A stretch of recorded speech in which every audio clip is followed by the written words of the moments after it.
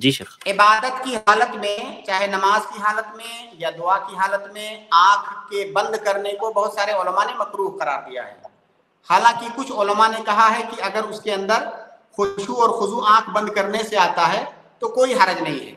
लेकिन सही बात यह है कि आँख को खुला रख के उसको इबादत करनी है। आँख को बंद करके नहीं करनी है।